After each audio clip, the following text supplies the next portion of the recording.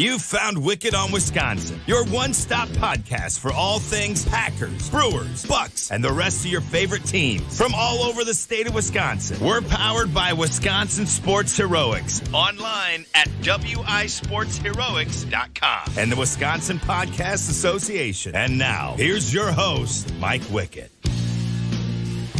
Hey, what's up? Cannot believe that we are doing a podcast about a three and four Green Bay Packers team. This Green Bay Packers team at three and four. Cannot believe that is what we are doing, but that is where we are at. You know, if you would have told me a month ago, if you would have told me three and a half weeks ago that when the Packers were three and one, you would have said, Wickett, you're going to be doing a podcast a few weeks from now after a game in London with the Giants, a game at Lambeau with the Jets, and a road game at the Commanders. Green Bay is going to be three and four. I would have said you're an idiot. I would have said that Aaron Rodgers must have been hit by a bus.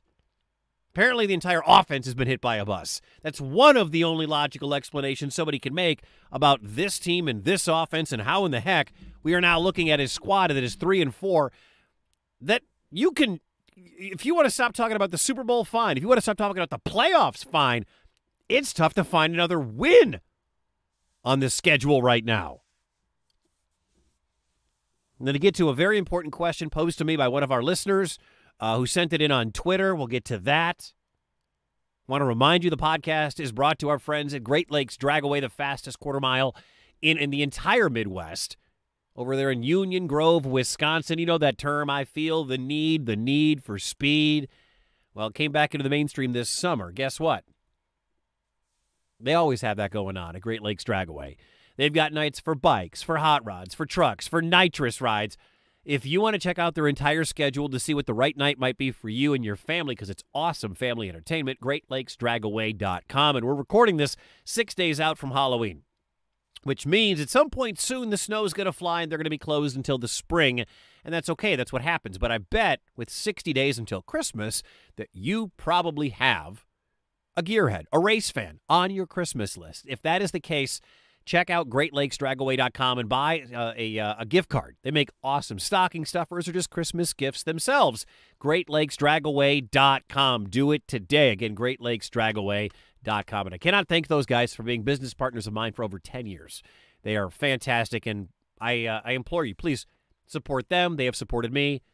Great Lakes Dragaway, again, online, greatlakesdragaway.com. All right, so Packers lose at D.C another game where they play half of a half of a decent football game.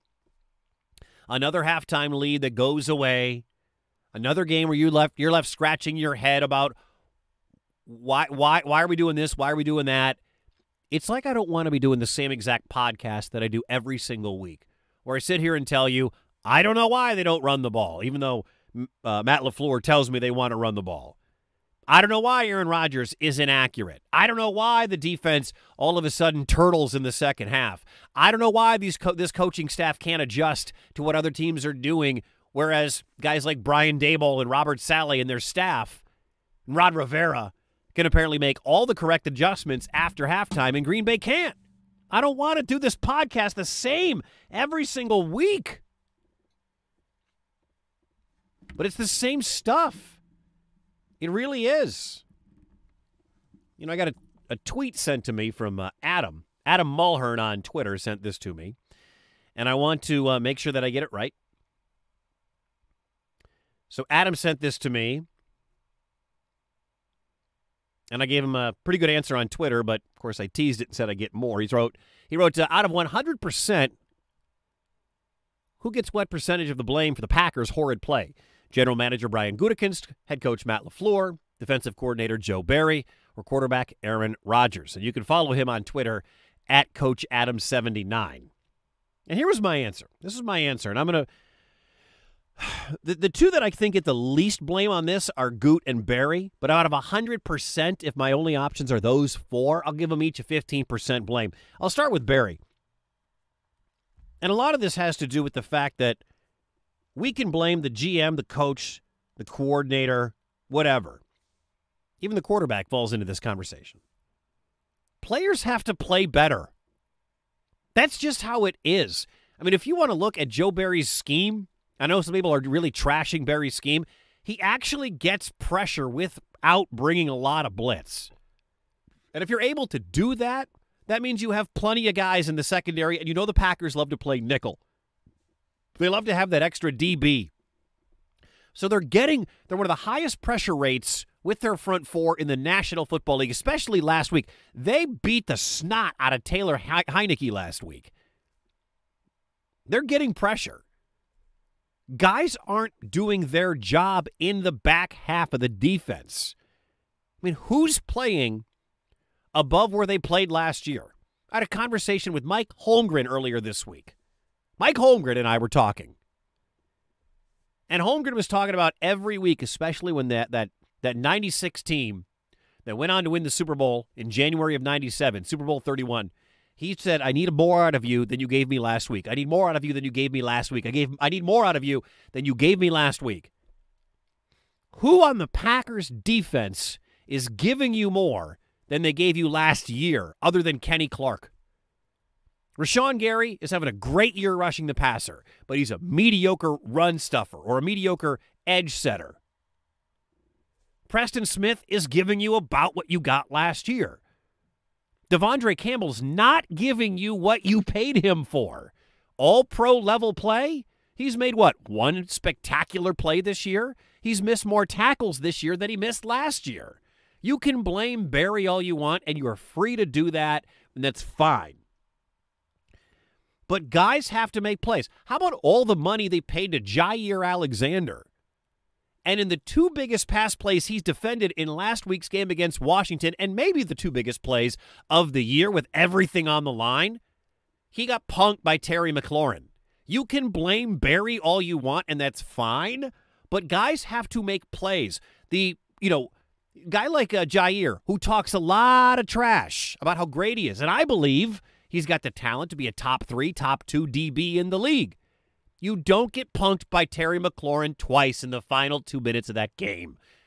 The play where he didn't knock McLaurin out of bounds, and the play where McLaurin beat him to the ball. And that basically sealed the deal before we got to that circus play at the end of the game that had half a percentage point of actually being successful. You can blame the defensive coordinator because it's low hanging fruit, and that's fine. Barry's defense isn't terrible. Statistically, they're good. They're getting pressure. They don't stop the run real well. we know that. But I put 15% of the blame to Adam's Twitter question on Barry, and I put 15% on Gute. And again, Gute's built a good roster, sans wide receivers. All right? Built he the offense, I believe Brian Gutekunst was banking on Aaron Rodgers carrying the offense and it being upper half of the uh, of the NFL this year. But since he has taken over, he has had to turn Dom Capers scraps into Mike Pettine's trash into what is now statistically a good defense. Not paying all that much attention to the offense because the mindset was Aaron Rodgers will carry us. We lost Davante. He didn't want to be here. I have a whole podcast on Davante. I'm not mad at Davante. I understand. But the plan didn't work or hasn't worked to this point. Your team's now three and four. But I don't put everything on Gutekunst. I don't put everything on Joe Barry. I put 35% of the blame on each on Matt LaFleur and, and Aaron Rodgers. And again, those are my options. Gute, LaFleur, Barry, and Rodgers. I'll talk about LaFleur here for a second. I, I, I mentioned this last week, and I mentioned it on the tweet, and Adam wanted to know what I meant by it. The head coach needs to be in control. You know who's in control of the Patriots? Bill Belichick's in control of the Patriots. All right. You know who's in, you know who's in control of the Kansas City Chiefs? Andy Reid's in control of the Kansas City Chiefs. Mahomes listens to Andy Reid. McDermott's in charge in Buffalo. You know who listens to him? Jo- uh, Josh Allen. Green Bay is going to get a whole lot of Josh Allen coming up. The head coach is in control, needs to be in control. And every press conference I hear from Matt LaFleur sounds like he's not the guy in control, that 12 is the one calling the shots. that 12 is the head coach, that Rodgers is the head coach, and not Matt LaFleur. Oh, well, we got to run the ball more. You ran the ball 12 times against Washington. Your running backs had 12 carries. Who controls the play call? Oh, well, we send in two with Aaron, and he could. Stop sending in two with Aaron. Stop giving Aaron Rodgers the autonomy with his lack of playmakers out there and hand the ball off to your best playmaker, who is right now Aaron Jones. And what is going on with situational play calling? Twice now with big games on the line. The London game, late in the game, third and two. You remember, they threw twice. They have a 247 pound running back they took in the second round a couple of years ago named A.J. Dillon, who, by the way, had four carries in this football game against Washington. He and Aaron Jones should be able to get you the two yards you needed in that game against the Giants. Fast forward, Sunday, midfield, fourth and one. You remember the play. Huge moment in the game. Huge moment in the game. What happens? Again, fourth and one at midfield. You have a 350 pound left tackle. You have a 247 pound running back. Hand the ball off. Get a yard. No, what do they do? They ran some play where Sammy Watkins missed a pick Romeo Doubs. ball bounces in his hands. He gets tackled. Didn't matter. Ball goes the other way. Huge momentum shift. Green Bay's offense can't afford to get fancy and tricky on plays when you just need to slam the ball in the belly of your running back who weighs 247 pounds when you need one yard. I'm not asking A.J. Dillon to pick that up on third and five. Fourth and one. Fourth and one. Or Aaron Jones. Fine. Fourth and one. That's on Matt LaFleur. Don't give your quarterback, who is a Hall of Famer and a four time MVP, every chance in the world to get out of whatever play call that they want. You needed two yards in London. You needed one yard in D.C. You know what you got? Two batted balls and a drop. Why why are we making this so hard? And then he comes to the you know, I need to make sure Aaron Jones and AJ Dillon get my touches or get their touches. Then do it. Call a running play. Call three running plays. You know when the, the, the Packers offense looked the best on Sunday against Washington? The the second drive. And the first two drives combined, Aaron Jones had seven touches for like 38 yards and a touchdown. You know why? Because he's the best playmaker they've got what after those two drives, it's like they go away from it. They stop using motion. They only use motion on five or less plays in the entire game. Was that what simplifying the offense was? Was that your call, Matt? Where's the LaFleur ball? We've seen the LaFleur ball work to perfection this year at times, and they go away from it. Who's the guy not calling LaFleur ball? LaFleur?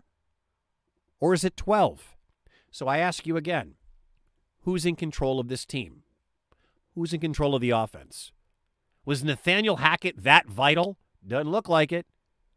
Was Luke Getsy that vital? Doesn't look like it. Although the Bears looked pretty okay the other night on Monday Night Football.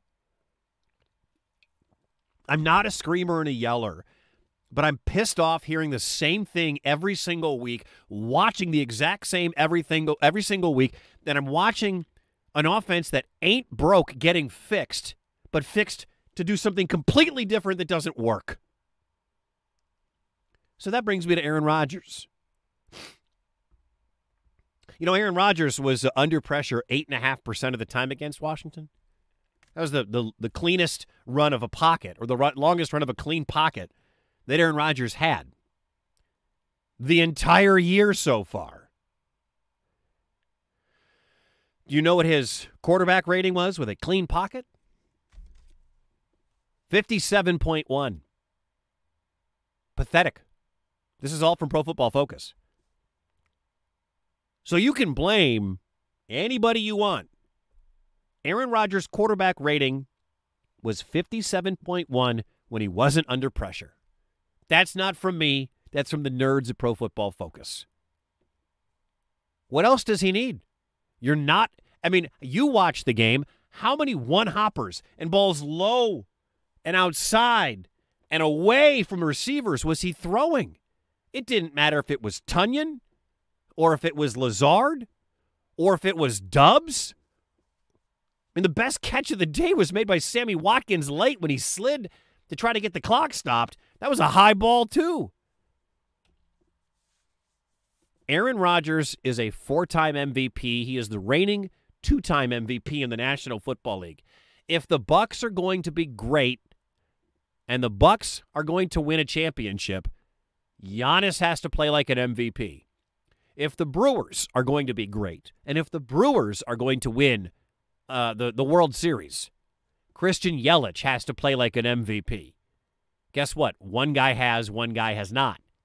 If the Packers are going to contend for the North, win the uh, the NFC, and go to the Super Bowl, Aaron Rodgers has to play like an MVP, and he is not.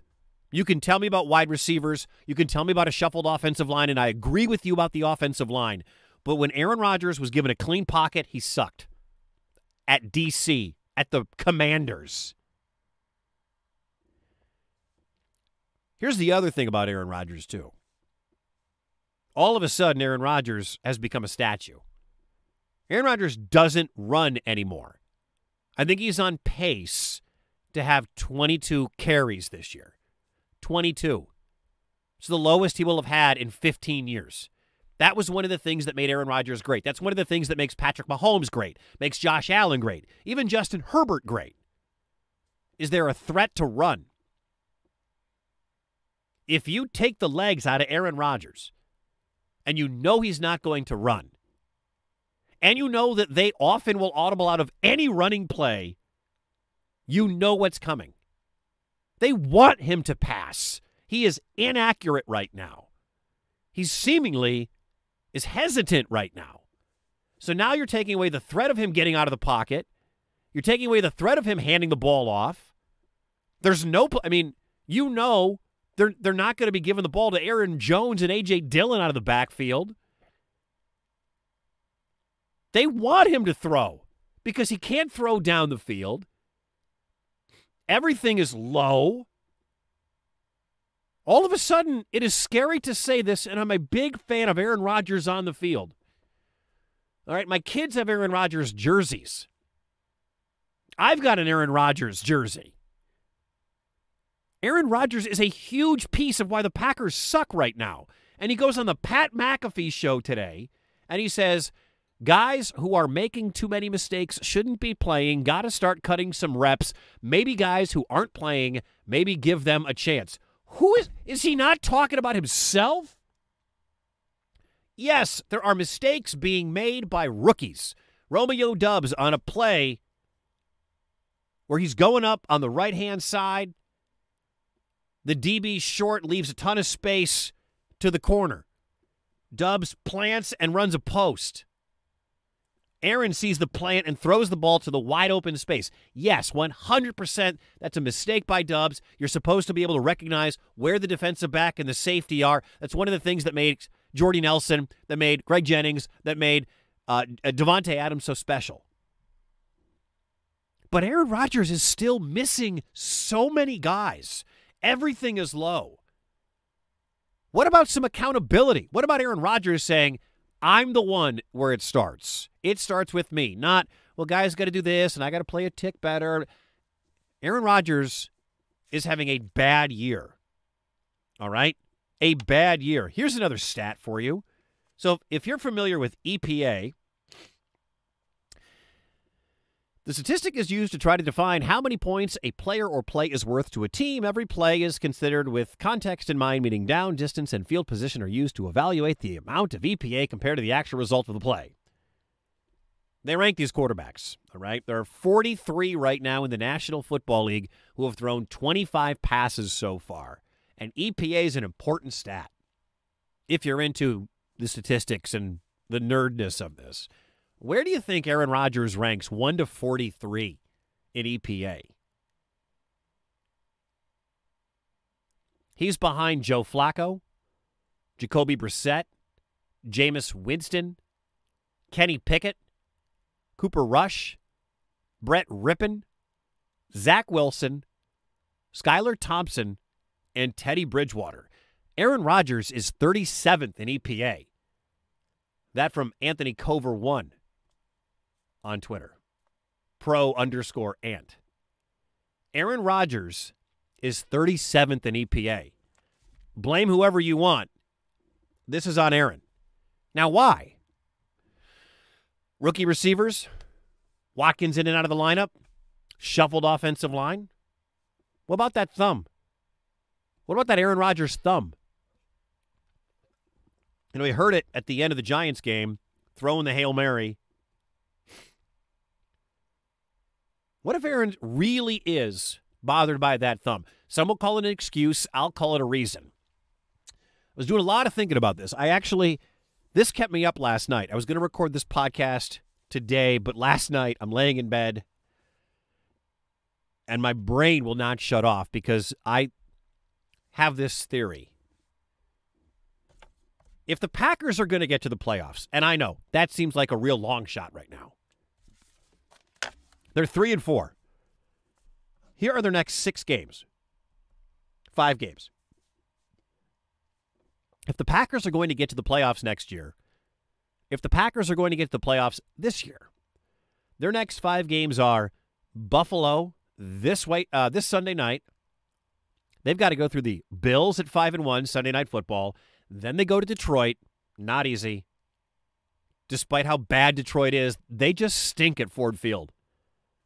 Then Dallas at five and two, the McCarthy Bowl. Then Tennessee four and two. Good luck stopping Derrick Henry. And then they're at Philly, the undefeated currently undefeated Eagles. How many of those are they going to win with Aaron Rodgers and the bad thumb? One, two. You think they're getting three? I don't see three. Not with the way he's throwing. And if the thumb is the problem, if the thumb is the problem, shut him down for three weeks. I know, Wickett, Jordan Love's not winning games either. That's fine. Jordan Love is probably not going to win at Buffalo. He might win in Detroit. That's the one game I think you look at on the schedule. You're like, that's the best chance for one thumbed Aaron or Jordan Love to win. Detroit stinks. Their defense is horrendous. It'll probably be a good game regardless of who's quarterback. Dallas 5 and 2. If somehow Jordan Love can get you to Cooper Rush won 5 games as the Cowboys starting quarterback. Jordan Love's better than Cooper Rush. And you know what Cooper Rush playing for Dallas did? It made that defense become elite. Outside of Micah Parsons, nobody on that defense was really playing at an elite level. Guess what? That defense won them some football games while Dak Prescott was hurt. Why not do it with Jordan Love and Aaron Rodgers? I'm not saying he needs surgery like Dak did, and if he did, then maybe we should have shut this thing down two weeks ago for Aaron. And I don't know if if Love beats the Jets. I don't know if Love beats the Commanders. But why not shut down Aaron like the Cowboys shut down Dak for three weeks let that thing heal. See if Jordan Love can get you one win. Because it's not like you look at this schedule like Aaron's going to go four and one. Aaron Rodgers can't take a handoff. But LaFleur said earlier that thumb prohibits them from having him play under center. That's why he's in the gun all the time. And running plays are never as effective in the gun as they are when, when a quarterback is under center. I mean, the ball gets there, you hand it, or that little stupid pitch they always do the running back doesn't have any momentum going. So if Aaron can't run, if Aaron can't take a handoff, and if Aaron is inaccurate because of the thumb, why not shut him down for three weeks? Cooper Rush won a bunch of games filling in for Dak Prescott when they did this. I'm not saying Jordan Love's going to go to Buffalo and win and Detroit win and, and beat Dallas, but he's got as good of a chance as Aaron Rodgers does, and maybe we'll find this out. Do you think the run pass ratio will be 35 to 12 with Jordan Love as the quarterback? No, it won't be. I want to find out if it's Rodgers calling the plays and Rodgers changing the plays and Rodgers audibling, or is that LaFleur? Because if it's going to be Love calling the plays, I guarantee you he's not going to be throwing almost three to one as opposed to runs. I know it's a crazy idea and people are going to think I'm hating on Rodgers, but no. If you can get me Aaron Rodgers healthy for the final, we got what, 11 games left, seven, 10 games left right now? If you can get me Aaron Rodgers healthy for the final six or seven of those games, they have a much better chance of going five and two over those final seven games or six and one with Rodgers at quarterback with two healthy thumbs than they do with one thumbed Rodgers trying to play through all these games and that thumb never quite getting right. And here's one other thing, going back to Brian Gutekunst too, before we get out of here. Shout out to my buddy Nick Packard, by the way. If you are a, a small business or a medium-sized business, one of my incredible sponsors, my shout out to uh, Nick Packard right there in Franklin, Wisconsin. NickPackard.com can help you grow your business on the internet. All right, that's where everybody does these business uh, does business these days, right? Let's say you own a small business and you're selling uh, potato chips or whatever. Somebody types in potato chips. How quickly does your name come to the top of the Google list? Well, that means if you're not getting anywhere near the top, your SEO stinks. As a matter of fact, uh, my nanny is sick, and I Googled, and I stayed home with my kids the last two days, and I Googled indoor playground near me and a place named Juju came up. It's in, it's right down the street from me. You know what? It was the first thing that came up. You know why? Because their SEO is great. That's right. Their search engine optimization, whatever they're doing, is great. Nick Packard can do that for you. Google anything. What's the first thing that comes up near me? That's where Nick can come in, take a look at whatever you're doing, and help you get to the front center portion of the internet. That's what you want. You want people to see you, to click on you, to buy you. And the cool thing is, you work directly with Nick. He doesn't have like a whole stack of people to get to, interns, part timers, before you get to him. You work one on one with him. He's fractional, so you only pay for the time that you need. If you're a small business or a medium sized business, get a hold of my guy, Nick Packard, today. NickPackard.com. And just for listening to the podcast, you get a free digital ecosystem assessment. He's going to look at your website, your social channels, your email marketing. Sign up directly so you know how you're doing. NickPackard.com, NP Connect, the marketing agency redefined online today. NickPackard.com. And tell him that Mike Wickett said hi. One other thing here. The Jets are not exactly an organization that you want to emulate, right? Like you don't think of, man, great leadership, smart team management, New York Jets. But the Jets should be what Brian Gutekunst is looking at. You know, New York's what four and two, I think. Four and two, four and three. They're actually in the mix for all of this. Their defense is very good. Sauce Gardner looks like he's going to be the real deal, but maybe a top 10 defensive back in the NFL already, even into his rookie year. They've got plenty of firepower at the wide receiver spot despite Elijah Moore wanting out. They had their stud rookie Breece Hall go down, and that sucks. Breece Hall is done for the year, tore his, I think, his ACL, and that sucks. So you would think they'd be like, well, we're not going to punt on the year. We're going to play this year out. We got Michael Carter as his backup. Whoever else, maybe we can find somebody on the scrap heap. No, you know what they did? The day after they lost their stud rookie running back, they went out and called the Jacksonville Jaguars and said, Give us James Robinson. What do you want? Oh, a sixth round pick? That's it? for your split back with Travis Etienne? Done. Packers fans had to see that move and get livid with Brian Gutekunst. The Packers never fill a need when one arises. You know, I know there are problems on this team. Wide receiver doesn't solve all the problems. I go back to my conversation about 12. The offensive line actually played okay for its first time together ever in that game against Washington. But the Packers have had this need at wide receiver now for seven weeks, and it's glaring. Now Lazard's in a sling. You know Sammy Watkins isn't going to last through Thanksgiving. Romeo Doubs can't catch anything, and apparently Aaron Rodgers is calling for either Samori Toure or Juwann Winfree to get more playing time. What are we doing here? I've never said this before, but be like the Jets. They were aggressive. James Robinson's a stud. Two years ago, he was the rookie of the year.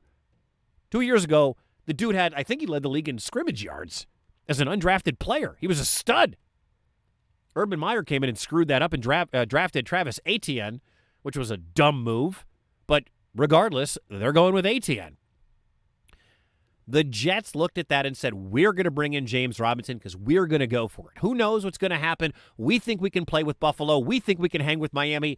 Apparently, New England's not very good this year. If the playoffs started today, the Jets are in the playoffs right now. And as long as you're in, check the Bengals, as long as you're in, you have a shot to go to the Super Bowl, just like Cincinnati did last year. Meanwhile, with Jerry Jeudy apparently on the block, Chase Claypool is on the block, DJ Moore is a pipe dream because the Panthers paid him too much money already and guaranteed money. They're not going to give up on him. But all the there are wide receivers out there to be had to fill a need. And what are the Packers doing? Does a wide receiver solve all problems? No, but it helps. And they need help. All right? Go find a James Robinson. Chase Claypool fits. He's cheap. Give up a third round pick for him. So what? Your window with Rodgers is closing by the second, and whether or not it's already closed this year, I don't know. At three and four with this stretch, Buffalo, Detroit, Dallas, Tennessee, and Philly. Come out of that two and three, and I'll feel okay. Three and two, and I'll feel great. It's so frustrating to watch this team operate the same day in and day out. Whether it's the coach, whether it's the quarterback, whether it's the, the general manager, whether it's the defensive coordinator who I think is getting a bad rap. He's not great. He's not terrible. All right, that's it. That's it. I've gone through everything. I hope you enjoyed it. I hope you agree with me. And if you don't, let me know. Follow me on Twitter at Mike Wickett, Mike Wickett Media on Facebook, uh, Wisconsin Sports Heroics, WI Sports Heroics. This is on their Facebook page too, so you can chat about it if you would like. But that's that's the boiling frustration after that game. The fact that it came by the way, the fact that it came down to a ridiculous 10 lateral play and Rodgers was the one to screw the whole thing up at the end by throwing the forward lateral. I don't know if it's poetic justice, pathetic, or just the Packers in 2022.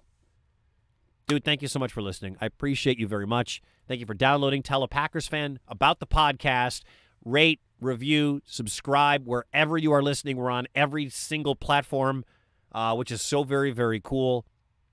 And thanks to our sponsors, Nick Packard, helping out your small and medium sized business, nickpackard.com, Great Lakes Dragaway in Union Grove, Wisconsin, greatlakesdragaway.com. My name is Mike Wickett. This has been Wickett on Wisconsin. Thank you so much for tuning in. As always, not, we may have to maybe do the Packers last year, but go Pack, go, go Bucks, and go Brewers.